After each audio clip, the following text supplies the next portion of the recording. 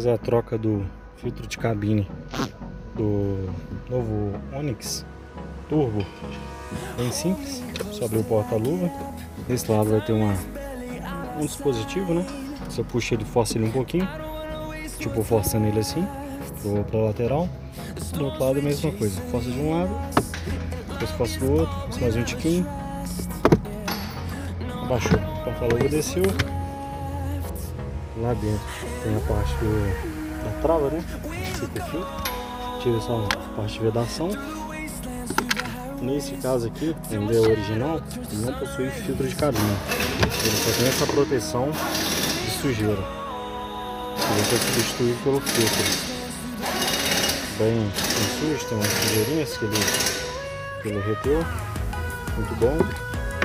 E lá dentro onde vai o filtro de cabine.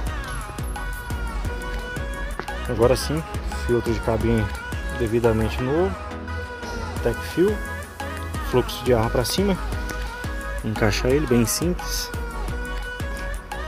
Primeiro põe a primeira lateral, depois só terminar de encaixar. Encaixou bacaninha. Tem com a vedação, vedação aqui.